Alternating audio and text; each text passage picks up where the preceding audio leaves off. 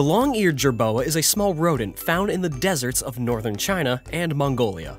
These tiny rodents have a mouse-like body with a long tail, rabbity ears, a snout like a pig, and their hind legs look like a miniature model of a kangaroo. Its ears are three times bigger than its head, perfect for hearing stealthy predators. Its front legs are comically short but perfectly suited for holding insects close to its mouth, and its tail serves as a prop when the jerboa stands upright.